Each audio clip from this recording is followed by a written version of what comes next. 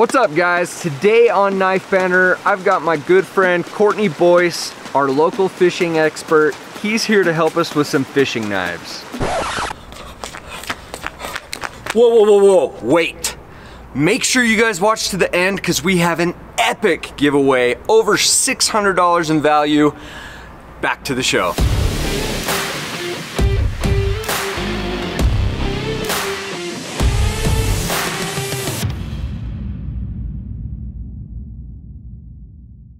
Uh, let's jump into some knives. Let's do it. All right, here I'm gonna hand these off to you. This one, first off, is a Spyderco Native 5 Salt. They use, a, let's see, it's a LC200N steel, but it's basically nearly rust proof. What kind of fishing applications would you use this knife for? Well, first of all, I'm drawn to the scale-like pattern that's on the outside which I really like. I like the color because when you're fishing, it's a lot of times we fish at night and just the bright yellow color really stands out if you drop it or if it falls out of your pocket or whatever like that. When you fish, you get wet. So something that's not gonna rust is huge peace of mind. Right. This, I feel like I can just spray out with a hose if there's stuff in there.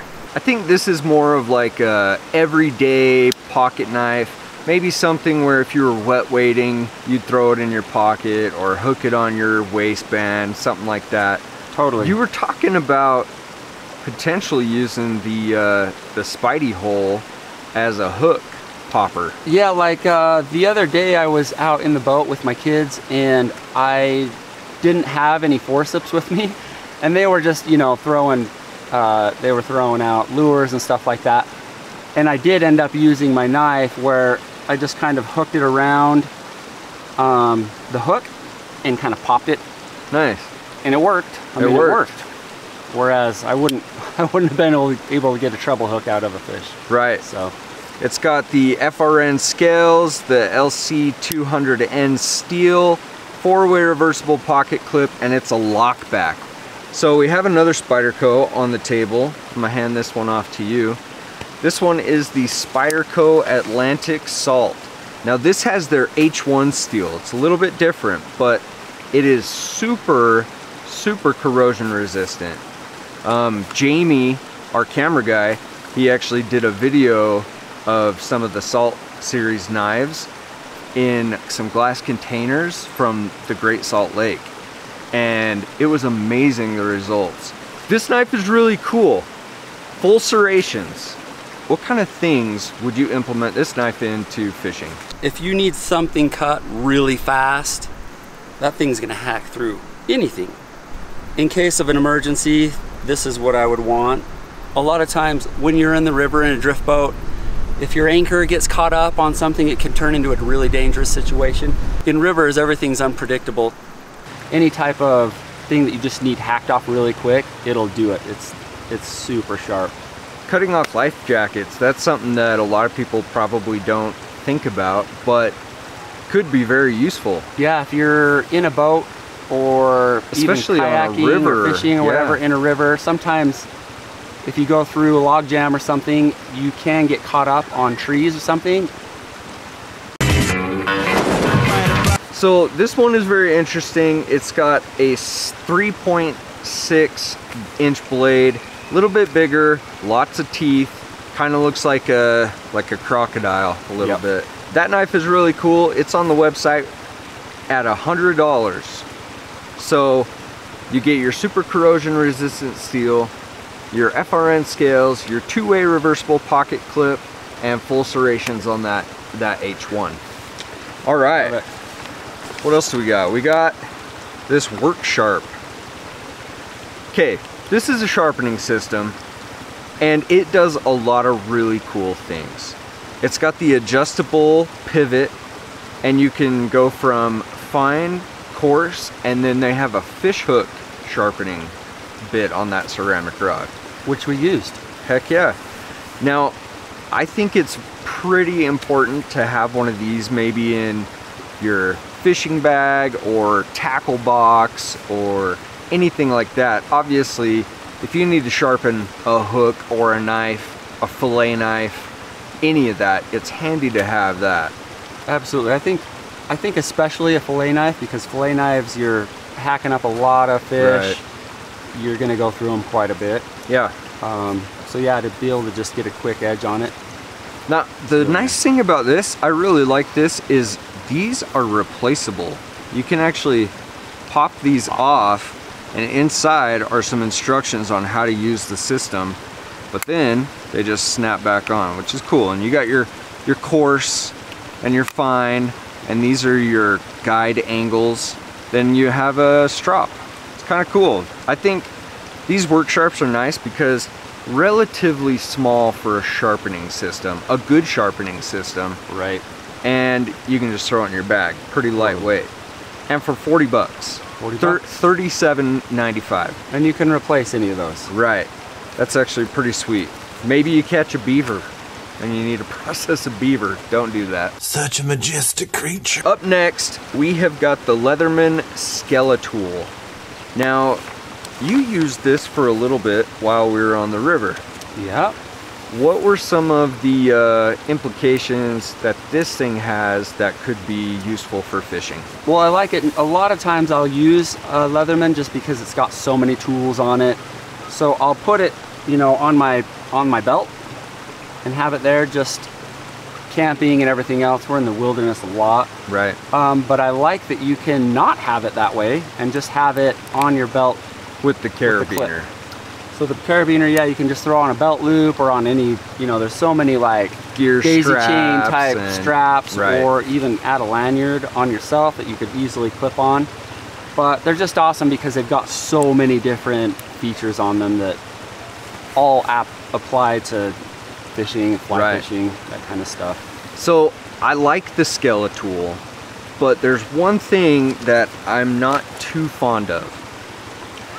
I, I think for fishing I would rather have a different Leatherman tool because a lot of times, like we were saying before, your one hand is always busy.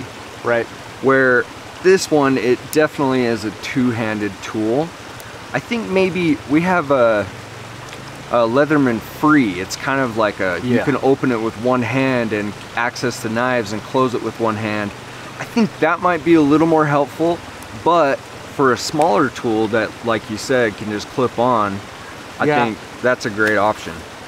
It's a great option. Yeah, Leatherman makes so many good tools, but I I do think a spring would be good because you've got either a fish and trying to open and close it with one hand. It is possible, but not as convenient. Right.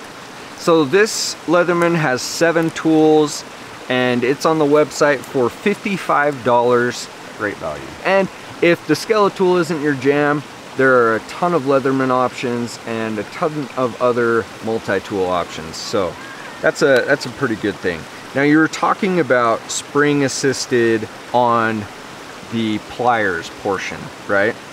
Yep. Well, I think up next we have the Gerber Magniplier. Can you bust that thing open? Now this thing is cool. It's seven and a half inches. It has multiple functions, multiple features. Obviously it has the lanyard that you can clip on. That way if you drop it, right, Right. it's it's Happens attached to lot. you. Happens a lot, especially when your hands are wet. Totally. Now this thing's cool. It's got replaceable plier tips and it has a cutter. Yeah, there's a lock too. So you just pop that, it'll lock it while it's in its sheath. Um, these I think I'm really excited about. I've never, I haven't used these before. A lot of people use these. It's they're almost critical. It's like one of the most critical tools that you've got when you're out in the ocean. But you also need something that you know. Sometimes you're cutting 130 pound test. Sometimes you're even cutting braid. Um, you're cutting wire. A lot of crazy stuff. So having some clippers, some cutters that can really dig in and just pop stuff really easily um, is a is a big deal. I was excited when this thing came through. I think it's cool. For the price, man, it's like you can't you can't beat it. I don't think. Right. 70, 70 bucks for that thing. 70 bucks. Uh, And I, th- I feel like Gerber is matching that higher price range of quality of tool That for, would be sweet. for 70 bucks. You're looking at 350 bucks for like the nicest stuff, you know, out on the market. So Right. Up next, we have got this very interesting looking pair of shears. Not scissors, they're shears. Just kidding. I think we sell a couple scissors on the online too. This is the Gerber processor. It's 30 bucks. If you're processing a lot of fish, cutting through bones or whatever else, this could be a useful tool. It'll hack stuff real good. That one on the website is 30 bucks. More of a boat tool, I would feel like. Yep, or a camp tool, yeah, if you're just processing fish out real quick. Right. Okay, awesome. so up next, this is one tool that I've been very excited about, and I think that you liked it quite a bit. It's called the Gerber Linedriver. It's small, sleek. What do you like about it? Well, I do like this, yeah. It's great for tying on flies, you know, it'll grab your fly, you can tie it, it it'll twist, you can actually even just twist your line, you know, when you've got it hooked on there and then just kind of finish your knot off. Um, great for the visually impaired older guys or ladies. Um, I love that you can clip it onto your waist belt and have it as a line snipper. It's also great for the bigger hooks where you can actually pinch your hooks or um, split shot even. Pinch your hooks, feed the line through it, through the eye for also for visually impaired people or just if you want something that's a little easier to kind of basically it's like yeah. a quick access tool. Yeah. Does a little bit of everything. Does a lot of quick stuff. access. It's pretty small and slim. It's got the spinning hook vise. It's got the orange tether ring. It's got a eyelet clearing spike. Mm -hmm. and then it has a hook threader scissor snips and split shot crimper Okay, here's the best part. $40 on the website.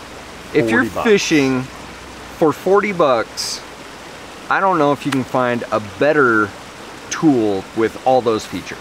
Multi-purpose tool, and there, I don't even think there's a tool that exists that has that many features. Up next, we have got the Mora knife. Now this is a cool knife. This thing right here, fixed blade Mora, um, just your typical bushcrafting knife. Um, this one in particular has a cork handle. Now, I dropped this in the river a couple times just to see how it would float. Because you wonder. So when we threw it in, it actually floated tip down, which makes sense, the steel, right? Right. But just the butt end of the cork sticks up. I also noticed that the neon green, it was actually really easy to see in the river going down, even though only this much was sticking out. As a fly fisherman, I'm drawn to it because cork is what you have on the end of a fly rod, so in hand it feels really awesome. That Mora knife is $30 on the website, and it's a pretty good one. We have another Gerber. This is the Gerber Controller Folding Fillet Knife. It's got a six inch blade. It's got FRN and rubberized grip on the handle. How does that feel in hand? It feels dang good. I like the rubber actually because when you're dealing with fish, they're slimy. Yeah. They're hard to even hold on to, so holding onto a knife on top of that is can be tough. Now, I think it's pretty cool because it's a flexible, slim, very slicey blade, but you can fold it up and shove it in a backpack. Yeah, especially if you're using smaller backpacks or sling packs or whatever. Right. So to have something that folds up to where you don't have to worry about getting stabbed and is pretty sweet. This one's cool. Uh, like I said, it's got the rubberized handle. It's called the hydro treated grip. Like makes it makes it extra grippy. And for a folding fillet knife, I feel like you get a lot out of this. You still get a big blade, it's six inches. I kind of feel like, especially if you're walking a river, fishing out of a backpack, hiking a shoreline, totally. something like that, that would actually be very helpful. Yeah, we were just up in Alaska a couple weeks ago and we were fishing for sockeye and we caught a bunch of them and I've never brought fish home I always just release them but this time I was like man we're bringing fish home so we caught our limit, filleted them out, and uh, and we brought fish home. That sounds good. I love barbecue I, time. Nothing better than some fresh fish. Oh man. And that Gerber fillet knife goes for $50 on the website. Okay, one left. We only have one one item left and it's a big boy. This is the Bubba blade 13 inch tapered flex fillet fixed blade. Now, that's some serious business. It is. I like the grip. Very like straight rubbery. away, you're like right into, you know, like your finger positioning and yeah, the grip's what it's all about. Again, fish are slimy, slippery, so a good grip is nice to have. I feel like a big fixed fillet blade like this is more something that you have maybe wherever you're cleaning and processing your fish. Maybe you leave it in your boat or leave it in the truck. I don't. Boats, would yeah, you trucks? Would you carry that fly fishing? No, unless like I did catch a beaver or something like that, and I needed to like defend myself. Who is Justice Beaver?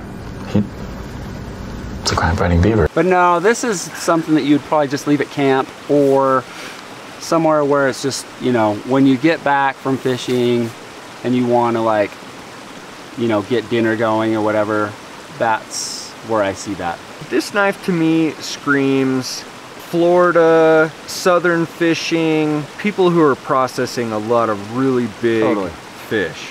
Salmon, Alaska. Salmon. But yeah, like, yeah, the with the you know they have different blade lengths and so for trout and smaller fish you know you, you need a smaller blade this is a great kind of medium sized blade where you could hack through the majority of most things if you're into going into like tuna and stuff like that you obviously right. want like a bigger blade but but yeah I think this is a great size for what most people use cool a fillet knife for it's a beast yeah. It's a it's a big boy. Good one. Uh, you can get the Bubba Blade for $50. There's a lot of $50 knives on the log. Not really a table, but it's log. definitely a log. All right, man. Thank you so much for being on. Where can the good people find you? At Blue Halo Gear on Instagram and Twitter. And then our website is bluehalogear.com and or just find us on Google, Blue Halo you'll you'll find us. Sweet.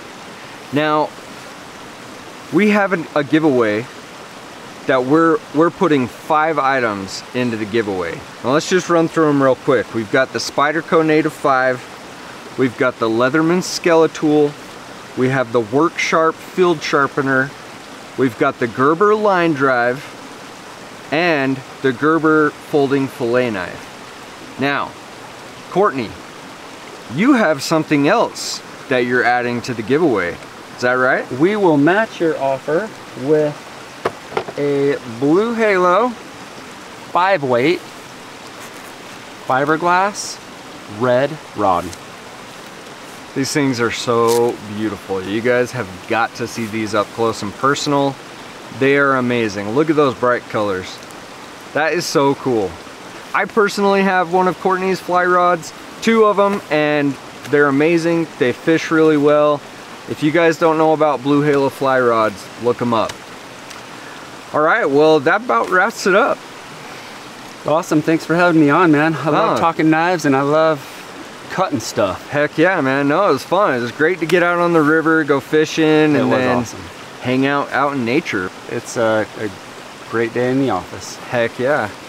All right, guys, for this epic giveaway, why don't you guys head over to Instagram. There will be a post today and it will give you all the instructions on how to get in on the giveaway. So jump over to Instagram, check that out right now. If you have any kind of questions, leave comments below, like and subscribe, and we'll catch you on the next one. Peace. What's up guys? Thanks for watching the show. Make sure you guys subscribe. Also check out the website if you want to see any other fishing knives or any other knives. Also, make sure you guys check out the playlist because it's epic.